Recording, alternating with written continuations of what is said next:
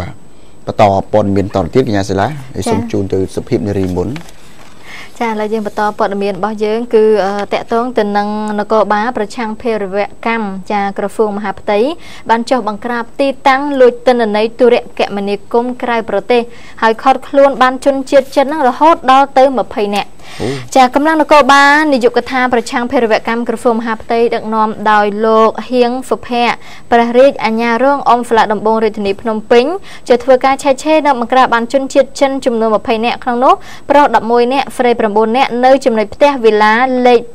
209នៅផ្លូវលេខ644ក្រុម12ភូមិដើមមកឃ្លឿសង្កាត់ច្បារអំពៅទី1ខណ្ឌមានជ័យកាលពីម៉ោង1និង10នាទីរសៀលថ្ងៃទី13កក្កដា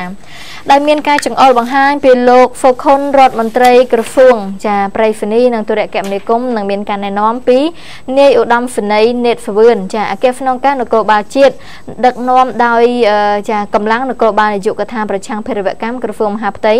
បានធ្វើការចុះឆែកឆេរនិងបង្ក្រាបទីតាំងលួចទិន្នន័យទុរគមនាគមន៍ចា ក្រៅប្រទេសរបស់ជនជាតិចិនដែលយកទីតាំងប្រទេសកម្ពុជាធ្វើជាកន្លែងប្រព្រឹត្តបទល្មើសដើម្បីលួចចាទិន្នន័យទុរគមនាគមន៍ក្រៅប្រទេសនេះมันបានចាសហការជាមួយកម្លាំងសមត្ថកិច្ចទេពេលដែលសមត្ថកិច្ចចុះទៅដល់មិនព្រមបើកទ្វារ ឲ្យសមត្ថកិច្ចចូលទៅធ្វើការឆែកឆេរនោះទេតតែលោកព្រះរាជអាជ្ញារងចុះទៅដល់កាត់សោទ្វារផ្ទះបំរុងចូលតែម្ដងចាគឺសម្រុកចូលតែម្ដងប្រតិបត្តិការនេះគឺខាត់ខ្លួនជនជាតិចិនបាន20នាក់និងដកហូតបានវត្ថុតាងពាក់ព័ន្ធរួមចាមានជាទូរស័ព្ទលើតុជាច្រើនគ្រឿង laptop ជាច្រើនគ្រឿងនិងបិទទ្វារវេលាខាងលើបណ្ដោះអាសន្នវត្ថុតាងដែលដកហូតបានរួមទាំងជនជាតិចិនខាត់បានចំនួន20នាក់បញ្ជូនទៅអគ្គស្នងការនគរបាលជាតិហើយចា៎បាទរឿងនេះគឺយើងធ្លាប់ខាត់ខ្លួនជនជាតិថៃម្នាក់ដែលលួចប្រហែលគ្នាចឹងដែរណាហើយយើងឃើញថាព្រាញ្ញា ស្ថាប័នខៃស្ថាប័នអាយកាដែលមានព្រាញ្ញាព្រាញ្ញារងនោះមានអំណាចខ្លាំងណាស់គឺថាបញ្ជាកងកម្លាំងប្រដាប់អាវុធទាំងអស់ហើយគឺថាបើសិនព្រាញ្ញាប្រាប់ឲ្យធ្វើម៉េចគឺធ្វើអញ្ចឹងពីព្រោះអត់មានខុសច្បាប់ទេតែគាត់បញ្ជាអញ្ចឹងហើយបានជារាល់ការឆែកឆេរកន្លែងផ្សេងផ្សេងគឺមានដីកាសម្រាប់ដីកាឆែកឆេរពីព្រាញ្ញាឬក៏វត្តមានរបស់ព្រាញ្ញានេះមកតលតែម្ដងប៉ុន្តែឆែកឆេរពេលយប់ពីម៉ោង6យប់រហូតដល់ម៉ោង6ព្រឹកគឺអត់បានទេវាលើកលែងតែករណីណាដែលពិសេសជាទីបំផុតហើយបើអរគុណលើថែមមួយរឿងទៀត គឺស្ត្រី2នាក់ជិះម៉ូតូវ៉ាគេជែងណារថយន្តតាក់ដៃចង្កូតបាទហើយចូលក្រោមរថយន្តរបួសធ្ងន់ម្នាក់ស្រាលម្នាក់បាទអាហ្នឹងគឺថាជីកជែងឬក៏វ៉ាគេហើយប៉ះដៃចង្កូតរថយន្តគេហើយដួលទៅក្រោមរថយន្តទៅទៀតបាទស្ត្រីពីរនាក់ជិះម៉ូតូវ៉ារថយន្តក្រុងរបស់ក្រុមហ៊ុនភ្នំពេញសូរិយាដឹកអ្នកដំណើរបណ្ដាលឲ្យតាក់ដៃចង្កូតដួលចូលក្រោមរថយន្តបុកអស់ជាង10ម៉ែត្ររងរបួសធ្ងន់ម្នាក់ស្រាលម្នាក់ គ្រោះថ្នាក់នេះកើតឡើងនៅវេលាម៉ោង8យប់ថ្ងៃទី14ខែកក្កដាតាមមហាវិថីសហព័ន្ធរុស្ស៊ីមុខទីស្តីការគណៈរដ្ឋមន្ត្រីបាទស្ថិតនៅក្នុងក្រម4ភូមិ8សង្កាត់មិត្តភាពខណ្ឌ7មករាប្រភពព័ត៌មានបាយដឹងថារថយន្តក្រុងរបស់ក្រុមហ៊ុនភ្នំពេញសូរិយាដឹកអ្នកដំណើរពណ៌ទឹកក្រូចពាក់ស្លាកលេខភ្នំពេញ 3A បាទ 88 81បើកបរពីលិចទៅកើតនៅក្នុងទិសដៅស្របគ្នាជាមួយនឹងម៉ូតូ Mac Icon ពណ៌លឿងលីសពាក់ស្លាកលេខភ្នំពេញ 1BN 9873បើកបរដោយស្ត្រី2នាក់ខណៈមកដល់ចំណុចខាងលើម៉ូតូបានជិះវ៉ារថយន្តក្រុង ណាធ្វើឲ្យតាក់ដៃចង្កូតដួលខ្ទាតចូលក្រោមរថយន្តជាមួយនឹងម៉ូតូនិងអ្នកបើកម៉ូតូអុសជាប់ក្រោមរថយន្តជាង10ម៉ែត្ររងរបួសធ្ងន់ ចំណែកឯអ្នកជិះពីក្រោយខ្ទាតចេញពីក្រៅរថយន្តរងរបួសស្រាលរីឯអ្នកបើករថយន្តក្រុងរត់គេចខ្លួនគាត់រត់គេចខ្លួនសិនហើយបាទគាត់គេវាយបាទក្រោយពេលអ្នករងរបួសធ្ងន់ត្រូវរថយន្តសង្គ្រោះដឹកយកទៅមន្ទីរពេទ្យកាឡាម៉ែតចំណែករថយន្តបង្កនិងរថយន្តសំទោសនឹងម៉ូតូនៅពីក្រោមរថយន្តទៅសមត្ថកិច្ចធ្វើការវាស់វែងយកទៅរក្សាទុកនៅការិយាល័យនគរបាលចរាចរណ៍ផ្លូវគូករងចាំធ្វើការដោះស្រាយទៅតាមនីតិវិធីបាទអញ្ចឹងគាត់ចេះរត់គេចខ្លួនបើបើបើសិនជាម៉ូតូគាត់បើកទៅប៉ះឡានចាពេលខ្លះហ្នឹងគឺថាទុកឲ្យសមត្ថកិច្ចលោកវាស់វែងតាមបច្ចេកទេសទេប៉ុន្តែបើយើងវ៉ាគេយើងចែងគេឲ្យទៅប៉ះខ្លួនឯងដួលខ្លួនឯងអាហ្នឹងមិនដឹងទេបាទអត់ដឹងថាម៉េចទេណា សូមចប់ប៉ុណ្ណឹងសិនបាទចាឥឡូវងាកចេញពីរឿងនេះចូលទៅរឿងមួយដែលជាករណីក្នុងមួយយប់ហ្នឹងគឺងើបជេរគេហ្នឹងពីរដងចាពាក់កណ្ដាលអាត្រៀតម្ដង ចិត្តភ្លឺម្ដងទៅអញ្ចឹងចាបរោះម្នាក់អន្តរគេដឹងថាជា មានមុខរបរអ្នកលក់ខោអាវជជុះ នៅឯផ្សារអូឡ িম্প ិកពេលថ្ងៃហើយពេលយប់ហ្នឹងមានមុខរបរមួយទៀតគឺជេរបញ្ចោផ្អើអ្នកចិត្តខាងរកតែដេកពួនមិនបានទេជារៀងរាល់យប់ចាទាំងកដាអាត្រៀតក៏មានអាចិត្តភ្លឺហ្នឹងក៏មានដែរបារម្ភម្នាក់នេះមានទីលំនៅតាមមហាវិថីកម្ពុជាក្រោមផ្ទះជាន់ទី3នៅពីលើក្រុមហ៊ុន Fun Fimico សង្កាត់មិត្តភាពខណ្ឌ7មករាអ្នកលក់បបរហ្វលក់មីឆាលក់ទឹកកឡុកចានៅចំណុចចិត្តកន្លែងកាត់ហេតុខាងលើបានឲ្យដឹងថាស្ទើរតែរាល់យប់ទៅហើយដែលបរិះម្នាក់នឹងមានអាយុជាង50ឆ្នាំមានមុខរបរលក់ខោអាវជជុះនៅផ្សារអូឡ িম্প ិកចាដូចគេដូចឯងធម្មតាទេអ្វីដែលប្លែក ពីគេនោះគឺឲ្យទៅដល់ម៉ោងពាក់កណ្ដាលអាត្រៀតម៉ោងប្រហែលជា12អាត្រៀតបរោះខាងលើនេះតែងតែចេញមកឈរនៅរៀនហាលមុខផ្ទះជាន់ទី3ហើយស្រែកខ្លាំងខ្លាំងជាបញ្ចោនៅពាក្យពេចមិនសមរម្យនិងចាគឺមិនដឹងជាជេនរណាម្នាក់ឲ្យច្បាស់នោះទេមិនដឹងថារះទាំងអស់ហើយយ៉ាងម៉េចយើងអត់ដឹងចាតែបើនរណាម្នាក់ហ៊ានតែតបវិញនឹងច្បាស់ជាមានការឆ្លុះប្រកែកចារោគរឿងផ្អើគេផ្អើឯងទាំងយប់មិនដែលខានទេធ្វើឲ្យអ្នកចិត្តខាងខាងលើចាគឺអ្នកចិត្តខាងហ្នឹងគាត់ធ្វើថ្លង់ធ្វើកទៅចាលែងដឹងលឺអស់ទៅហើយហើយចង់ជេរហត់ពេលពេលដែលឈរជេរហត់ពេកហ្នឹងគឺអត់មានអ្នកតបជាមួយក៏ចូលទៅសងំដេកវិញហើយចាហើយដល់ពេលចាមានកម្លាំងហត់ចិត្តភ្លឺ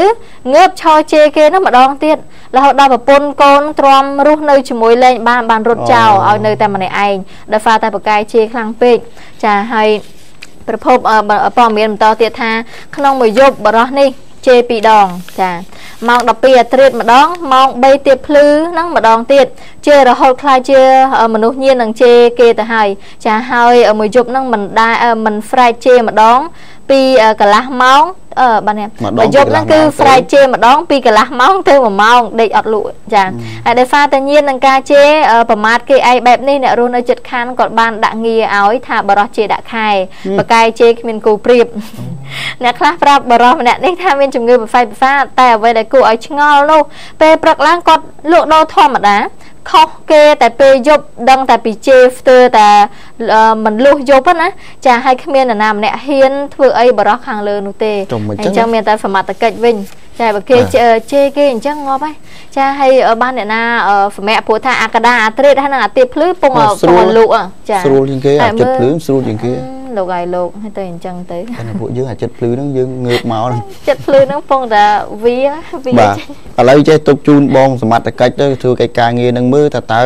គាត់ជេរពីរឿងអីឲ្យយកគាត់ទៅធ្វើកសលវិច័យមានទៅកន្លែងមន្ទីរពេទ្យឲ្យមន្ទីរពេទ្យពិនិត្យមើលថាតើគាត់មានបញ្ហាផ្នែកសរសៃប្រសាទឬដែរឬក៏អត់អីចឹងហ្នឹងពេលខ្លះគាត់អត់ចង់ទេប៉ុន្តែវាមានស្អីនោះវាទៅហ្វៃជេរ មានវិស័យអាហ្នឹងក៏ខ្ញុំក៏មិនដឹងរូបខ្មោចចូលលើពេលយប់យប់ខ្មោចខ្ញុំវាដេកលក់ខ្មោចទៅហេងស្រួយបាទអរគុណច្រើនឥឡូវទុកជូនសមត្ថកិច្ចលោកដោះស្រាយបញ្ហាហ្នឹងទៅបាទអរគុណឥឡូវសូមជូនព័ត៌មានមួយរឿងទៀតគឺពាក់ព័ន្ធទៅនឹងករណីគ្រោះថ្នាក់ចរាចរណ៍គឺជិះម៉ូតូទៅបុករថយន្តជនជាតិចិនរងរបួសធ្ងន់ខ្លួនឯងណាទៅបុកគេទៀតបាទបរមម្នាក់ហ្នឹងរងរបួសធ្ងន់ខណៈជិះម៉ូតូទៅបុកលើកង់មុខរបស់រថយន្ត Highlander បើកបរដោយជនជាតិចិន2នាក់ ហេបើកបរម្នាក់នេះបើកបរ2នាក់មិនបាទនៅចំណុចផ្លូវលេខ113កែងមហាវិថីព្រះនរោត្តមក្នុងសង្កាត់ផ្សារចាស់ខណ្ឌដូនពេញកាលពីវេលាម៉ោង11:30នាទីយប់ថ្ងៃទី14ខែកក្កដាអ្នកឃើញហេតុការណ៍ជាប់មាត់អ្នកឃើញហេតុការណ៍បានឲ្យដឹងថារថយន្ត Highlander ពណ៌ស្ករពាក់ស្លាកលេខភ្នំពេញ 2S1187 ជិះគ្នា2នាក់ជាជនជាតិចិន បាទនេះជីកត្រូវតាមតាមមហាវិថីព្រះនរោត្តមពីត្បូងទៅជើងចំណែកម៉ូតូសង់កូរ៉េពណ៌ពណ៌កំបោបាទអូអានពណ៌កំ pl ោកមិញបាទពាក់ស្លាកលេខព្រៃវែង 1C 3442 ជិះតាមផ្លូវលេខ113ពីកើតទៅលិចហើយគណៈមកដល់ចំណុចផ្លូវកែងម៉ូតូនឹងជិះលឿនពេកចាប់ហ្វ្រាំងមិនតាន់ជ្រុលទៅបុកលើកង់មុខ ចំហៀងខាងស្ដាំបណ្ដាលឲ្យដួលរងរបួសធ្ងន់ខ្លួនឯងរួចចំណែកម៉ូតូអឺម៉ូតូអីចេះបាទម៉ូតូវ៉េវអឺម៉ូតូវាចខ្ញុំមកខ្ញុំអត់មានវ៉ែនតាបាទជាស្រ័យគឺថាម៉ូតូនោះវាចមួយកំណាត់ខាងមុខវាទៅជាលេខ8បាទទៅជាលេខ8ហើយហើយក្រោយពេលកើតហេតុអ្នករងរបួសធ្ងន់ត្រូវរថយន្តសង្គ្រោះដឹកយកទៅព្យាបាលនៅ clinic ឯកជនចំណាយរថយន្តនិងម៉ូតូសមត្ថកិច្ចធ្វើការវាស់វែងយកទៅរក្សាទុក នៅការិយាល័យចរាចរណ៍ផ្លូវគោករងចាំការដោះស្រាយបន្តទៅទៀតហើយបាទចាឥឡូវយើងចូលទៅមួយរឿងទៀតមុននឹងជួបអ្នកឧបត្ថម្ភនៅក្នុងកម្មវិធីហ្វុំជូនមួយរឿងទៀតគឺរមាក់ម៉ូតូជិះឆ្លងផ្លូវទៅបុកនឹងម៉ូតូវីវ៉ាពេញទំហឹងរងរបួសធ្ងន់នឹងម្នាក់ហើយអ្នករងរបួសហ្វ្រាលនឹងបែរជារត់គេចខ្លួនបើម្នាក់នឹងរងរបួសធ្ងន់ក្នុងហេតុការណ៍គ្រោះថ្នាក់ចរាចរណ៍បង្កឡើងដោយរមាក់ម៉ូតូជិះឆ្លងផ្លូវទៅបុកជាមួយនឹងម៉ូតូចំពីមុខពេញទំហឹងគ្រោះថ្នាក់នេះបានកើតឡើងនៅមុខរោងចក្រទឹកដោះគោតាមផ្លូវជាតិលេខ5សង្កាត់ទួលសង្កែខណ្ឌរហ្វេកែវកាលពីម៉ោង9:45នាទីយប់ថ្ងៃទី13កក្កដាប្រភពព័ត៌មានបានឲ្យដឹងថាម៉ូតូ Viva Free 2006ពណ៌ខ្មៅពាក់ផ្លាកលេខភ្នំពេញ 1J ចា21ហ្វុនហ្វូនគឺបើកបរពីជើងនឹងទឹកត្បូងចាហើយគណៈដែរមកដល់ចំណុចខាងលើក៏ស្រាប់តែរមាក់ម៉ូតូមួយគ្រឿងដែលឈប់ចតមើលចាកីឡាប្រដាល់នៅមុខហាងកាហ្វេតាមចិញ្ចើមផ្លូវនៅខាងឆ្វេងដៃរួចហើយបានជិះឆ្លងផ្លូវនឹងទៅខាងស្ដាំដៃវិញក៏បានបុកជាមួយនឹងម៉ូតូមួយគ្រឿងទៀតពេញទំហឹងបណ្ដាអ្នកបើកម៉ូតូ Viva រងរបួសធ្ងន់ធ្ងរចំណែកឯអ្នកបើករមាក់ម៉ូតូគឺរងរបួសហ្វ្រាល់បានរត់គេចខ្លួនហើយអ្នករងរបួសធ្ងន់ក៏មានរថយន្តសង្គ្រោះចានៅឯ clinic ឯកជនយកទៅព្យាបាលចំណែកម៉ូតូនិងរមាក់ម៉ូតូសមត្ថកិច្ចក៏វាស់វែងយកទៅរក្សាទុក នៅខាងការិយាល័យនគរបាលចរាចរណ៍ផ្លូវគោកដែរចាហើយសូមដាក់មករឿងទៀតនេះដូចជារឿងវែងបន្តិចណាចាចា ជំរាបជូនតែម្ដងទៅគឺឡបោកគក់និងឡសម្ងួតនៅក្នុងរោងចក្រអឺ Bloom Time ត្រូវបានអគិភ័យឆាបឆេះខូចខាតអស់ទ្រព្យសម្បត្តិហ្នឹងគឺមួយចំនួនតូចកន្លែងបោកគក់និងឡសម្ងួតនៅក្នុងរោងចក្រ Bloom Time ត្រូវបានអគិភ័យឆាបឆេះយ៉ាងសន្ធោសន្ធៅបង្កឲ្យមានភាពភ្ញាក់ផ្អើលដល់អាជ្ញាធរមូលដ្ឋាននិងក្រុមពលរដ្ឋអគិភ័យហេតុការណ៍នេះបានកើតឡើងនៅម៉ោង10:30នាទីព្រឹកថ្ងៃថ្ងៃអាទិត្យថ្ងៃទី14ខែកក្កដានៅរោងចក្រខាងលើចាដែលមានទីតាំងនៅខាងក្រោយរោងចក្រ Fantic ដែលស្ថិតនៅក្នុងភូមិត្រពាំងថ្លឹងសង្កាត់ចំចែកខណ្ឌពោធិ៍សែនជ័យតាមប្រភព ព័ត៌មានអ្នកនៅខាងក្រៅរោងចក្របានឲ្យដឹងថាការឆាប់ឆេះឡសម្ងួតនៅក្នុងរោងចក្រ Bloom Tham នេះបណ្ដាលមកពីបរិវេណនៃកម្ដៅឡចាគឺឡើងខ្ពស់ហួសកម្រិតជាហេតុនាំឲ្យមានភ្លើងឆេះតែម្ដងហើយភ្លាមភ្លាមនោះអាជ្ញាធរមូលដ្ឋាននិងសមត្ថកិច្ចគ្រប់លំដាប់ថ្នាក់ព្រមទាំងរថយន្តពលរដ្ឋអគិភ័យបានទៅអន្តរាគមន៍ផងដែរហើយក្នុងហេតុការណ៍នេះគេឃើញមានរថយន្តពលរដ្ឋអគិភ័យសរុបនឹង10គ្រឿងរថយន្តមកពីអង្គភាព711កង់ប៉ូតូចលេខ70ចំនួន3គ្រឿងនិងរថយន្តរបស់ស្នងការនគរបាលរាជធានីភ្នំពេញចំនួន7គ្រឿងហើយក្នុងការពន្លត់នេះផងដែរប្រើប្រាស់រថយន្តពលរដ្ឋអគិភ័យចំនួន2គ្រឿងមួយគ្រឿងរបស់អង្គភាព711កង់ប៉ូតូចលេខ70និងមួយគ្រឿងទៀតអឺគឺរថយន្តរបស់ស្នងការនគរបាលរាជធានីភ្នំពេញចំពោះរថយន្តដែលនៅហ្វល់ត្រៀមរងចាំគឺនៅខាងក្រៅទេក្នុងការពលុត អគិភ័យនេះគឺប្រើប្រាស់ទឹកអស់ចំនួនតែ2រថយន្តទេដោយសារតែនៅក្នុងរោងចក្រខាងលើមានប្រព័ន្ធការពារនិងពន្លត់អគិភ័យដោយខ្លួនឯងទៅហើយហើយបើតាមប្រភពដោយឡែកមួយពីមួយទៀតពីសមត្ថកិច្ចបានឲ្យដឹងដែរថាអគិភ័យឈានទៅដល់មានការឆាបឆេះលសម្ងួតនេះវាបណ្ដាលមកពីធ្លាក់កំទេចភ្លើងមកលើដំបូលចាដោយរោងចក្រខាងលើគឺមានការជួសជុលផ្សារដែកដំបូលនៃរោងចក្រហើយបានធ្លាក់នៅកំទេចភ្លើងលើកំទេចក្រណាត់សម្រាប់ សម្រាប់ដិតបំរើការលបំរើចាបំរើការងារលសម្ងួតបានធ្វើឲ្យអណ្ដាតភ្លើងនឹងឆាប់ឆេះរៀលដាល់តែម្ដងទៅអាគីភ័យខាងលើនេះគឺបង្កឲ្យរងការខូចខាតរបស់របរទ្រព្យសម្បត្តិរបស់ក្រុមហ៊ុនចារោងចក្រមួយចំនួន មានម៉ាស៊ីនសម្ងួតខោអាវចំនួន15គ្រឿងទទួលរងការខូចខាតភ្លើងបានហើយក៏ភ្លើងបានរលត់ទៅវិញអស់ទាំងស្រុងនៅម៉ោង11:20នាទីព្រឹកថ្ងៃដដែលដែរបាទយើងកំពុងតែបង្កើតច្បាប់ស្ដីអំពីអគិភ័យដែលច្បាប់នេះមកដល់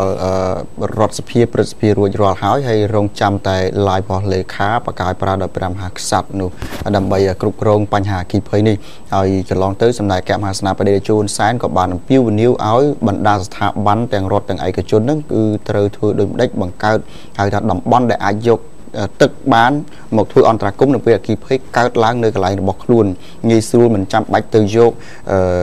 ឡាគេហៅថាទឹកពីកន្លែងសមត្ថកិច្ចទេបើន័យថាបើឡាននឹងមកគឺយកទឹកពីកន្លែងនៅតំបន់របស់យើងហ្នឹងគឺថាបាញ់ពលុតយកតែម្ដងវាឆាប់រហ័សជាងបាទ អរគុណឥឡូវយើងសូមអនុញ្ញាតសម្រាប់បន្តិចសិនបន្តិចទៀតយើងខ្ញុំនឹងផ្ដល់ជូនព័ត៌មានជាពិសេសគឺថាឈ្មោះរបស់សប្បុរសជនដែលណាចូលរួមចែករំលែក